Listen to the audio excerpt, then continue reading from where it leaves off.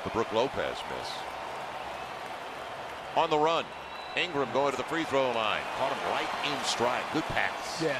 150 three pointers in 62 games. When you think about his first three years with the Lakers, 127 combined. To the point where he's a five year max guy now. And, and you know what, man? In this league, contracts bring confidence.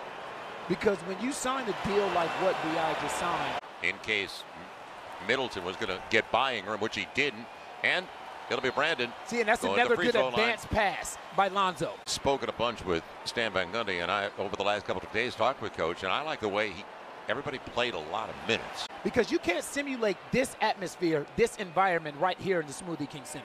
You know, it's, it's different in practice where you're battling with each other and it's a controlled atmosphere, it's a controlled environment. You know, Jrue Holiday has been nothing but class uh, from the time that he's been in the league and from the time that he has been bucket and from the time that he's been here in New Orleans. He said, I didn't realize Melli was that skilled.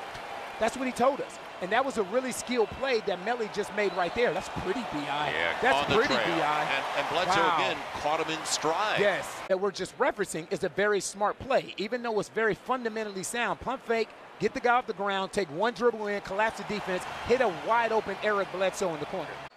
Everybody talks about the three ball. Now Brandon Ingram struggle offensively. Nice. Jaxson Hayes, he timed it. Again, that's a set play.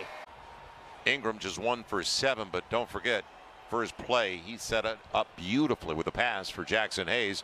Nice pocket for Nico Melli. Giannis is going nowhere. Loyalty works both ways. Yes, buddy. It'll be Brandon Ingram. He's due. He's got it. Stroke looked good there.